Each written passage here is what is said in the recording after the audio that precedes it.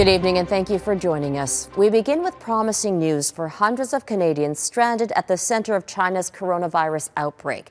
The federal government says it's making progress on an evacuation plan and it's working to make sure families aren't separated.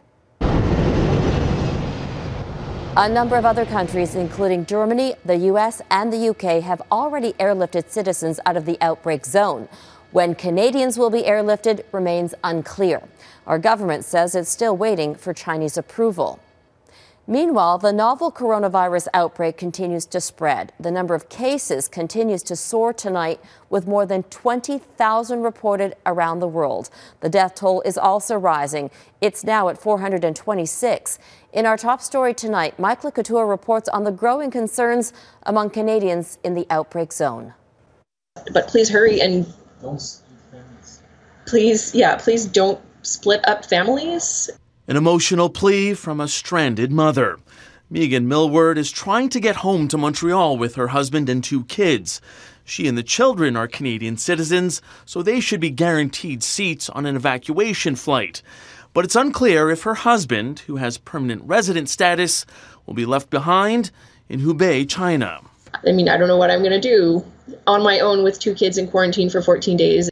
At a media briefing, Foreign Affairs Minister Francois Philippe Champagne tried to reassure stranded Canadians that families wouldn't be split up. We have asked the, the, Chinese authority to allow the primary caregivers, whether they're Canadian citizen, permanent resident, or Chinese national, to be able to fly with that child in Canada.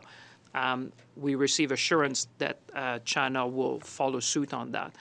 So, if Millward's husband isn't considered the primary caregiver, will they split up the family?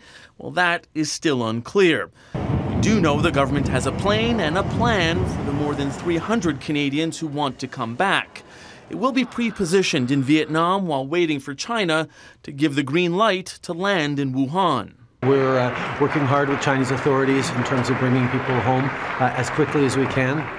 We understand there are many uh, uh, steps, both health and safety steps, to be made to that have to be gone through. One of those steps is the Chinese approval of the flight manifest list, so those Canadians will be allowed through police checkpoints in the city, which is under a lockdown. Once back in Canada, they'll be quarantined for 14 days at CFB Trenton in Ontario. Passengers will be isolated from residents of the base and each other. So if one person falls ill, uh, that won't re- necessitate the start of an entire another quarantine for all of the passengers. For now, the Canadian government is telling people to avoid non essential travel to China, but the Canadian military issued a travel ban. In an order to Canadian Forces members on Monday, the country's top soldier, General Jonathan Vance, told soldiers to cancel any travel to or through China. Vance's order said it's too much of a health risk to the military's readiness capabilities. Robin. Mike Le Couteur in Ottawa. As Mike mentioned, Canada is still waiting for China to approve the evacuation plan. When that happens, a number of steps are in place to help prevent any potential spread of the virus. Every passenger will be screened by both Chinese and Canadian authorities before boarding the plane in China. During the flight, passengers will be monitored by Canadian Forces medical team. If they become ill, they will be moved to an isolated area of the plane and treated. When the plane lands at CFB Trenton in Ontario, all travelers will be again screened. They will then remain at the base for 14 days to ensure they are clear of the virus. Back at the center of the outbreak, a massive new hospital is up and running after being built in just over a week. Over the last 10 days, cameras have been rolling as construction crews work around the clock to build the 1,000 bed facility. Authorities had ordered the project to help deal with Wuhan's severe hospital bed shortage. The facility will reportedly focus on treating people infected with the new coronavirus. As you saw there, the Chinese government is working fast to try to contain the outbreak. But as Eric Sorensen explains, those efforts are doing little to ease growing economic concerns. In parts of China, drones equipped with audio messages are telling Chinese citizens not to gather in public. This woman is being told to go home and rest, and off she goes. China's high tech and low tech capacity to impose order is being tested. From the remarkably swift construction of new hospitals to Chinese officials telling people not to go outside, the country is desperately trying to contain the spread of the coronavirus. It's asking the world for more protective medical gear, but it's also trying to contain the message of fear. China is navigating between greater openness while urging the international community not to overreact. The World Health Organization is helping with that message. If we invest in fighting at the epicenter, at the source, then the spread to other countries is minimal and also slow. The spread of the novel coronavirus looks alarming. Cases have now been reported in 25 countries, but the epicenter remains in China.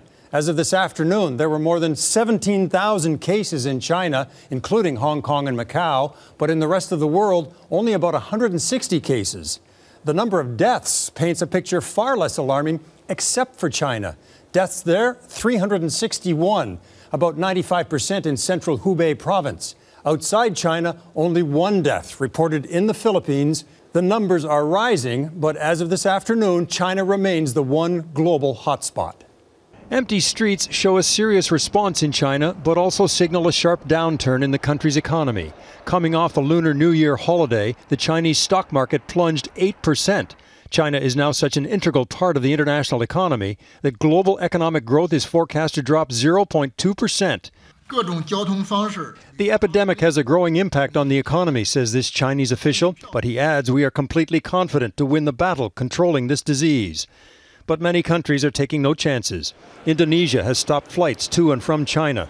Hong Kong has now closed all but three border crossings to mainland China.